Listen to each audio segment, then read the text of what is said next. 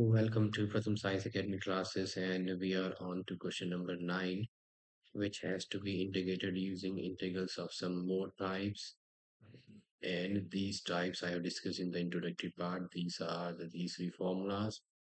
Let's try to get it converted into one of these. So our integral is I and let's take LCM so it's 9 plus x square into dx which can be written as integration of root of 9 plus x square upon under root 9 where differential element dx and under root 9 is 3 so our integral is 1 by 3 integration of root of I can write it as 3 square plus x square in differential element is dx and finally it is of the form 1 by 3 into integration of x square plus a square.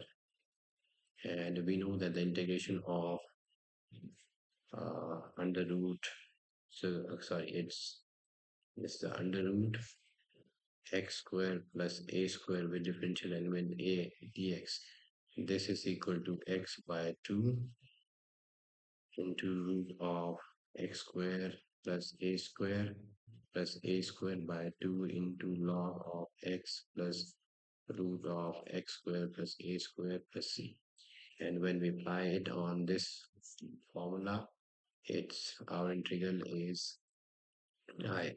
So 1 by 3 is common and x is x by 2 root of x square plus a square is x square plus 9 so this is x square plus 9 plus a square a square is 9 by 2 log of x plus under root x square plus a square which is x square plus 9 plus c.